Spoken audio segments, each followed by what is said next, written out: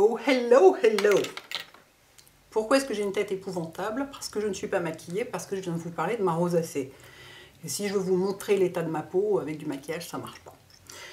Euh, pour mémoire, depuis le premier confinement à peu près, j'ai la pommette gauche qui me gratte en permanence.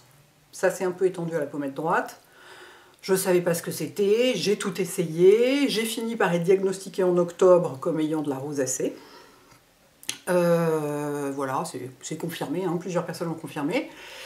J'ai vu plusieurs dermatos qui n'ont pas été plus efficaces, aucun n'a été plus efficace les uns que les autres, c'est-à-dire qu'ils m'ont prescrit des antibiotiques, qui n'ont rien fait du tout. Euh, sachant que moi j'ai fait beaucoup de recherches en ligne, hein. j'ai fait des recherches sur les sites, enfin pas les sites médicaux genre Doctissimo, mais genre le Vidal, des trucs, enfin, des trucs sérieux. Euh, la molécule qui est dans la plupart des antibiotiques qu'on donne, qui est le métronidazole, c'est une molécule qui agit essentiellement sur les boutons, les gens qui ont euh, ce qu'on appelle la rosacée papulopustuleuse, qu'on appelait autrefois l'acné rosacée, c'est-à-dire qu'on dirait qu'ils ont de l'acné, mais c'est pas de l'acné, c'est de la rosacée. Or moi, euh, vous voyez, j'ai jamais eu un bouton de ma vie, quoi. Enfin, peut-être deux quand j'avais 15 ans, quoi. Donc, donc sur moi, ça n'a rien fait, d'autant que... Et ça réduit éventuellement les rougeurs aussi, mais j'ai quasiment pas de rougeurs. Donc c'est pas, c'était pas le, c'était pas la bonne réponse. Euh, du coup, j'en ai, parlé ici et là, j'en ai parlé sur Instagram aussi.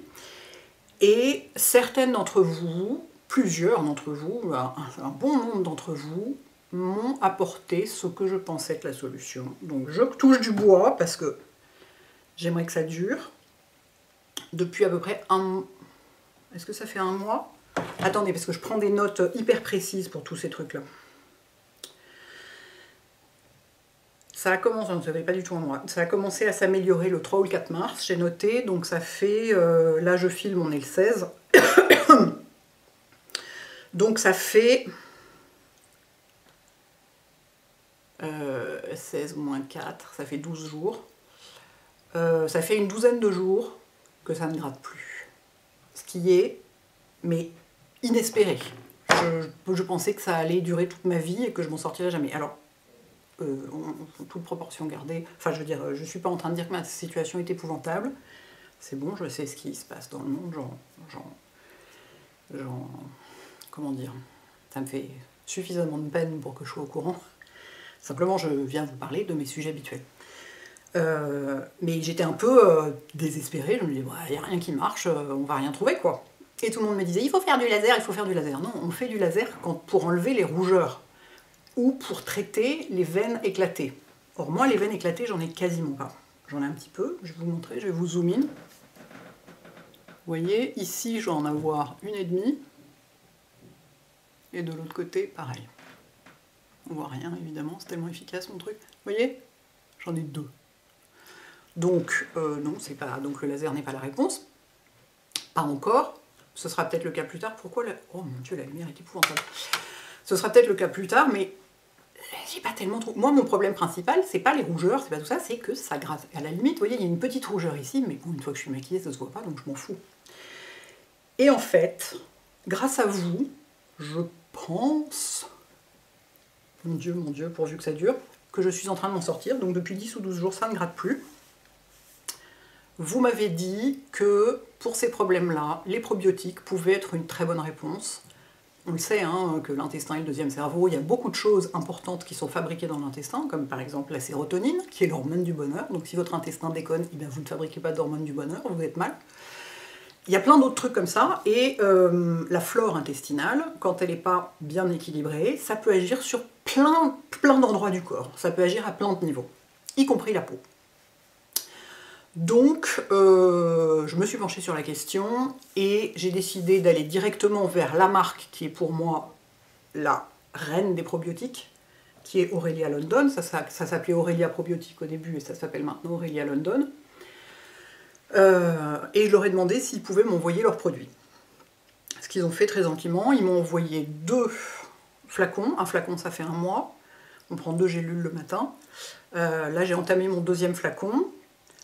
Et en fait, euh, l'amélioration que j'ai constatée, c'était au bout d'un mois de prise, des... J'ai un air hyper sérieux, hein, mais c'est parce que c'est un peu médical, donc j'essaie de ne pas dire de bêtises.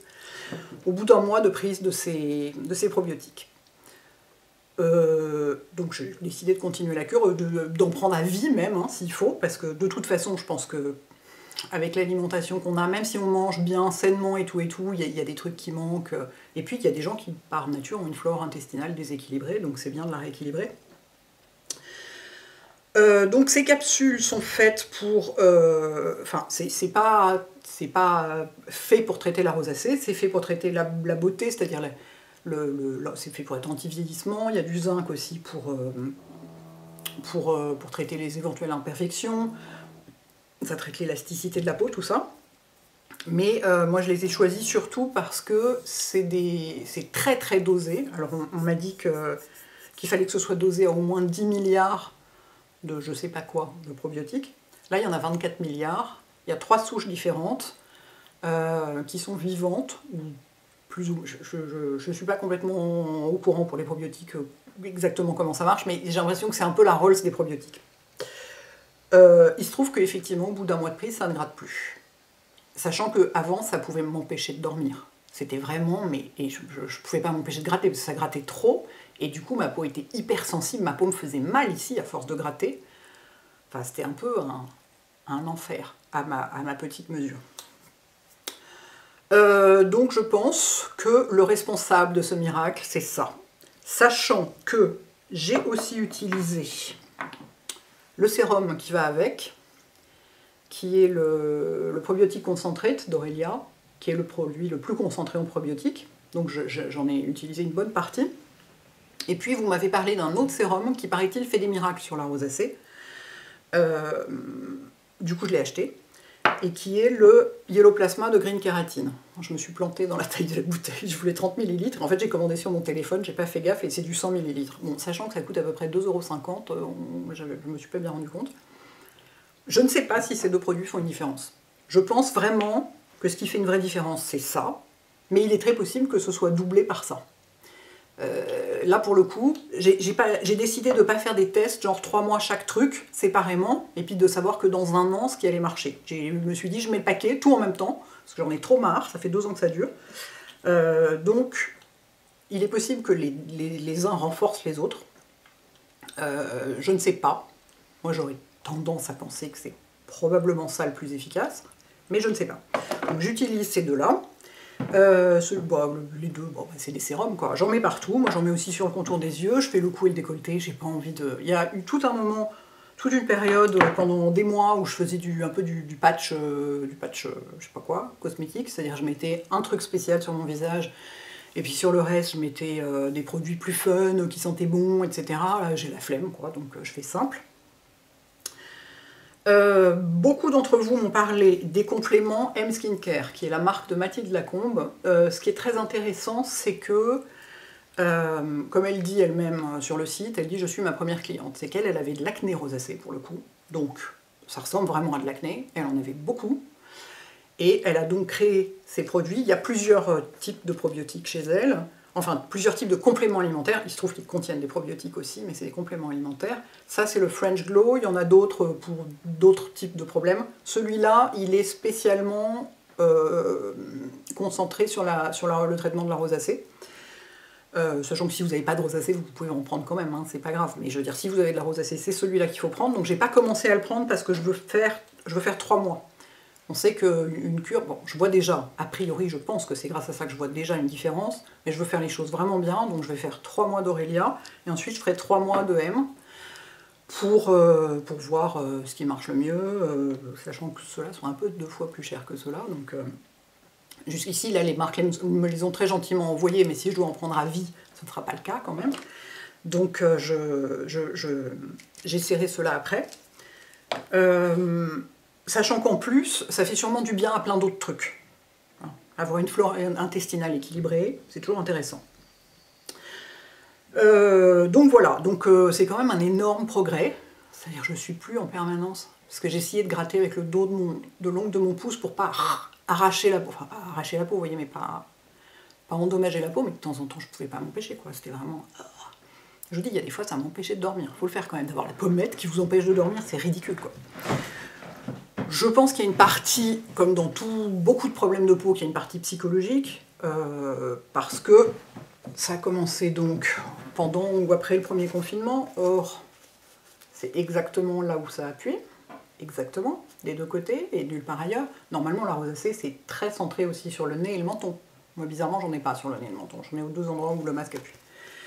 Donc, il y a sûrement une dimension, si vous voulez, dans ces maladies-là. C'est comme les gens qui ont de l'eczéma et qui font une crise, à un moment, ils sont stressés. Ça ne veut pas dire que c'est une maladie juste dans leur tête. La maladie existe dans leur corps, mais c'est parfois certaines émotions certains chocs ou certaines choses comme ça qui provoquent une crise.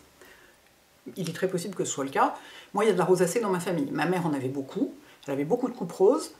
Euh, elle l'a jamais traité parce qu'on savait à peine que c'était à l'époque et puis je crois qu'elle s'en foutait. Ma sœur en a pas mal depuis plusieurs années.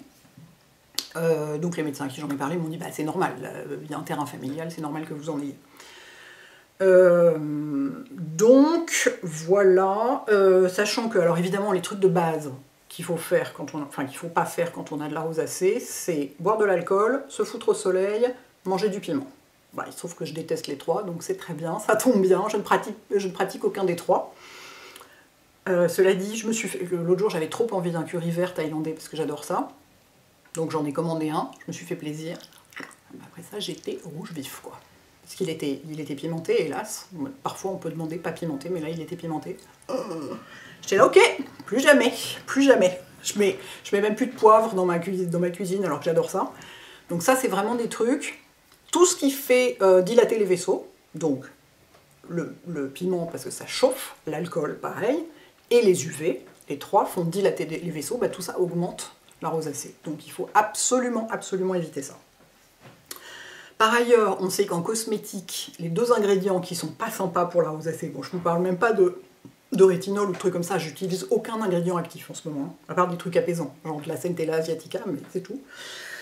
Euh, les ingrédients qui sont agressifs pour la peau et qui sont mauvais pour les peaux sensibles, c'est l'alcool et le parfum. C'est deux ingrédients qui sont irritants, donc j'essaye d'utiliser des produits qui n'en contiennent pas. Euh, je suis en train de faire mon étude des produits solaires de l'année, de mes solaires de ville préférés comme je fais tous les ans. Je peux vous dire que pour trouver un solaire qui a une texture sympa mais qui ne contient pas d'alcool, bah, c'est pas facile. Et à mon avis, c'est très important parce que je vois l'été dernier, j'ai utilisé pas mal de solaires coréens, machin, qui avaient des textures gel complètement dingues, mais qui forcément étaient pleins d'alcool. Quand un truc s'évapore aussi vite sur la peau, c'est qu'il y a de l'alcool dedans. Et bah, rosacée était enfin, ça flambait complètement l'été dernier, quoi. Donc je pense que ça joue aussi. Donc euh, bah, je suis que avec des trucs très doux et sans parfum. Donc pour nettoyer, euh, vous l'avez vu sur mon lavabo, sur mon blog, j'ai cette euh, huile démaquillante pour démaquiller, je veux dire. Je fais pas fais pas de double nettoyage, sauf si je porte un SPF et du maquillage. Sinon, si je porte juste du maquillage ou juste un SPF ou rien du tout, je fais un seul nettoyage. moins on en fait, mieux c'est. Moins on frotte la peau, mieux c'est. enfin, le double nettoyage, et une fois de plus, c'était un grand sujet. Il y a quelques années, je me suis posé des milliards de questions est-ce qu'il faut le faire, est-ce qu'il ne faut pas le faire? Ça dépend des peaux, ça dépend des circonstances. Moi, je suis euh, porte pas des tonnes de maquillage avec des tonnes de SPF réappliquées toute la journée euh, dans un environnement super pollué, humide et en transpirant. Et ma peau est, très sensible, donc je n'en ai pas besoin en ce moment en tout cas. Donc, pour me démaquiller, j'ai donc cette huile Purito euh, From Green, je sais pas quoi, cleansing oil qui est vachement bien. Elle sent rien, enfin elle sent un tout petit peu les ingrédients, mais à peine, il n'y a pas de parfum dedans. Elle est euh, purito, c'est quoi? Qu'est-ce que c'est que cette langue étrange? Ah, c'est coréen. C'est coréen, mais c'est vendu maintenant genre euh, chez Nocibé, quoi. On n'est plus obligé de la commander au bout du monde, c'est très bien. Elle est, elle est parfaite, elle les maquille parfaitement, elle enlève même le mascara waterproof. Vous pouvez frotter vos, vos yeux, non, tout va bien. Vous pouvez frotter vos yeux pendant longtemps pour enlever euh, dans les cils, ça pique pas du tout les yeux, elle s'émulsionne parfaitement, enfin bon. Vous voyez, il y a quand même des moments où il y a un tout petit peu. C'est juste un chatouillement, très légèrement, mais c'est tout quoi, par rapport à avant. Bref, elle se rince très bien, vraiment je l'adore. Donc si je suis juste maquillée, j'utilise ça. Cela dit, si j'ai juste du SPF, je peux utiliser aussi ça. Euh, si je veux faire un deuxième nettoyage ou nettoyer si j'ai rien, j'ai ce truc que j'ai acheté en même temps que le sérum Green Keratin, qui est le, sur vos conseils aussi. Donc je vous remercie beaucoup, hein, parce que notamment sur les probiotiques, mais j'y aurais jamais pensé sans vous. Merci quoi. Je vous, je vous vois beaucoup là. Et ça, c'est le Green Keratin, c'est la lotion nettoyante pour le visage. Euh, Precious, Cassé, Face Cleanser. Euh, Green Keratin, c'est une marque qui est, c'est fait en Angleterre, les produits, donc c'est a priori une marque anglaise, made in UK. Oui, bon, c'est une, marque anglaise, mais ils parlent de Scandinavie sur leur site. Enfin, c'est pas complètement clair. C'est un, peu, un peu bizarre comme marque. Mais a priori, les produits sont bons. Il y a des revues excellentes. Et donc ça, c'est un, un second nettoyant, mais en réalité, sur le site, ils disent qu'on peut enlever le maquillage, y compris des yeux avec. Et à mon avis, c'est vrai, parce qu'il est d'une richesse exceptionnelle. Il a une odeur un peu bizarre parce qu'il n'y a pas de parfum, donc il sent un peu les ingrédients, mais la texture est tellement agréable que ça, reste un produit sensoriel quand même. Euh, parce que là, du coup, la sensorialité, vu que j'ai aucun parfum nulle part, euh, il faut que les textures soient sympas. Quoi. Donc j'ai ça. Après avoir rincé à l'eau du robinet, je mets toujours un coup d'eau thermale, que ce soit celle-ci, de l'eau d'Aven, de l'eau euh, qui n'est pas une eau thermale, mais l'eau cellulaire d'Estéderm. Toujours, j'en mets pas mal, puis j'enlève le calcaire, quoi. Puis ensuite j'essuie. ensuite, donc, je mets un de mes deux sérums. C'est soit le matin, le soir, soit certains jours. C'est vraiment, euh, je suis vraiment en mode euh, matin et soir. Euh, matin et soir, c'est pareil, ça, ça, change pas. J'ai pas des ingrédients pour le matin et des ingrédients pour le soir en ce moment. J'ai que du apaisant pour tout, tout le temps. voilà. Et ensuite, je mets mon contour des yeux. Ah, j'ai oublié celui du soir. Bon, alors visualisez-le le matin, parce que quand même j'ai deux contours des yeux différents. Le matin, je mets le contour des yeux de L'Oréal. Et le soir, visualisez le petit pot de je oublié, j'oublie toujours un truc dans la salle de bain. Le petit pot de AJ Complex de SkinCeuticals, que j'aime bien mettre le soir parce qu'il est beaucoup plus riche. Et euh, dernièrement, le contour de mes yeux commençait à présenter de nouveaux signes d'âge. Donc je me suis dit, bon, reprenons quelque chose d'un peu plus costaud. Hein. Soyons raisonnables. Voilà. Et en crème, j'en utilise majoritairement deux. Je suis tout à fait capable d'essayer d'autres trucs, euh, avec toujours le principe pas d'alcool, pas de parfum en ce moment. J'espère pouvoir reprendre des produits parfumés euh, bientôt, parce que quand même ça me manque un peu. J'ai deux crèmes que j'aime bien. Il y en a une qui est la de First Aid Beauty. First Aid Beauty, c'est une marque américaine qui est dédiée aux peaux sensibles. Donc euh, tous les produits sont faits pour ça. Et celle-ci, elle, est, euh, elle est ultra réparatrice. C'est la base de leurs produits. Leur première crème, je pense, c'est la crème ultra réparatrice. Donc c'est une texture assez, un peu mousse, assez, assez riche. Et celle-ci, elle contient du collagène. Donc elle est un petit peu anti-âge. Je me suis dit, bon, ça peut pas faire de mal. Je suis pas sûre que ça change énormément, mais ça peut pas faire de mal. Et euh, là, c'est ce que j'ai mis ce matin. Et vous voyez, je, j'aime bien sentir le produit sur ma peau. J'aime pas qu'il soit complètement absorbé. Autant pour les produits solaires, j'aime qu'il soit complètement absorbé. Mais pour ma crème de jour ou de nuit, j'aime bien sentir un petit peu que ma peau est plumpy grâce au produit. Pas que ce soit complètement sec. Donc je mets ça le matin et ou le soir. Et j'ai aussi le Omega Complex Moisturizer de Paula's Choice que je mets le matin et ou le soir, qui est moins riche. Donc je le mets plutôt, euh, bah, ça dépend de la température en fait. Et là, comme on va vers, euh, on va vers des températures tropicales, sans aucun doute, euh, je pourrais le mettre le matin aussi. Et celui-là, il est fait pour... il est, c'est réparateur quoi. C'est réparateur, c'est fait pour retenir l'eau, pour aider la peau, à, les propriétés naturelles de la peau à retenir l'eau, etc. Euh, donc il est assez adapté à mon cas, et puis bah, comme tous les produits Paula's Choice, il n'y a pas de parfum. Certains d'entre eux contiennent de l'alcool, lesquels? Il n'y en a pas tant que ça, un peu, mais pas tant que ça. donc ça fonctionne très bien sur moi. au sujet de l'alcool dans les compositions, ce qui est mauvais pour la peau, entre guillemets, ça dépend du type de peau, ça dépend des conditions, ça dépend de plein de trucs, mais ce qui est potentiellement irritant pour la peau, c'est l'alcool dénaturé. Ça s'appelle alcool dénate dans les formules. Euh, dans les produits qui s'évaporent tout seuls, qui sont extraordinaires comme texture et tout, en général, ça vient juste après l'eau. Ça veut dire qu'il y en a beaucoup. Ça, l'alcool dénaturé, c'est un alcool qui, comme son nom l'indique, a été dénaturé pour pouvoir être vendu en pharmacie sans que les gens se bourrent la gueule avec. en fait, c'est un peu de l'alcool à 90 quand même. Donc ça, c'est vachement irritant. C'est ce qui rend les formules évanescentes et tout et tout. Après, tout ce qui est cétéaryl alcool et tous ces trucs-là, c'est pas du tout la même chose. C'est plutôt des émollients et des agents de texture, mais qui, n'en sont pas irritants pour la peau. Donc celui qu'il faut, chasser, si vous êtes dans le même cas que moi, c'est l'alcool dénaturé. Euh, voilà. Sinon, pour le, je crois que je l'avais dit déjà, pour l'acide hyaluronique au poids bas poids moléculaire, c'est une légende. Hein. c'est n'importe quoi. L'acide hyaluronique à bas poids moléculaire n'irrite absolument pas la peau. Euh, au contraire, ça a des propriétés, euh, ça a des propriétés euh, cicatrisantes. J'en ai parlé avec Paula Begoun, donc la fondatrice de Paula Church, qui je vous avais dit, elle m'a envoyé 9 études qui prouvent que c'est au contraire, que c'est réparateur, et un dermato qui bosse avec des marques de cosmétiques actifs chez L'Oréal qui m'a dit la même chose des études en français. Donc voilà, vous pouvez, on peut, on n'a pas besoin d'avoir peur de l'acide hyaluronique. Voilà, donc voilà où j'en suis aujourd'hui et euh, bah vraiment grâce à vous quoi.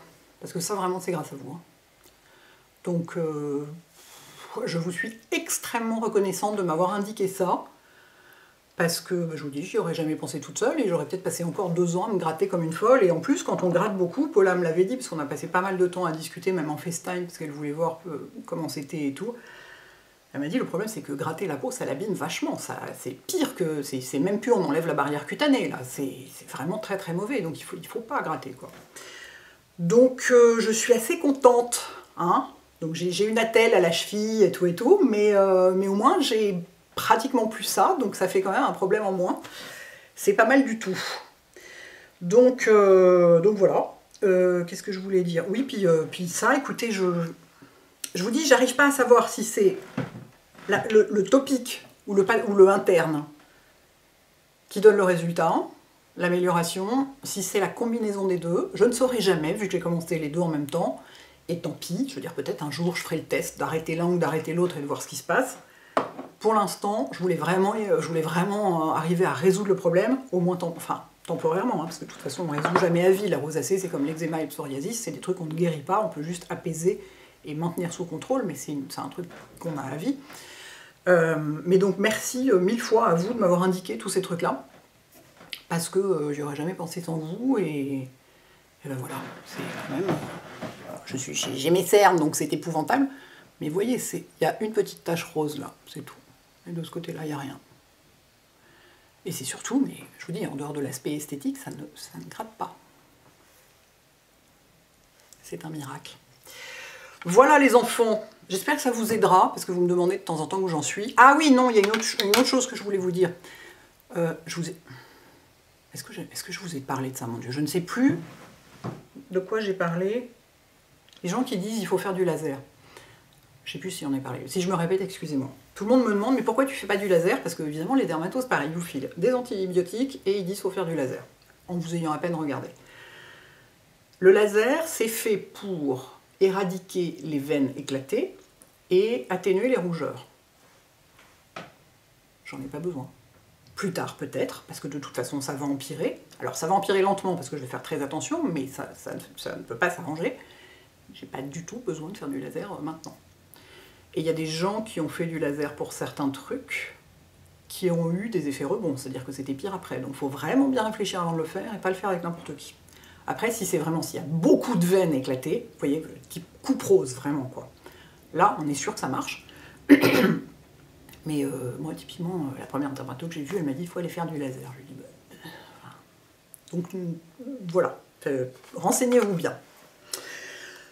Voilà, les enfants. Encore merci pour vos conseils. Passez un bon dimanche. À bientôt.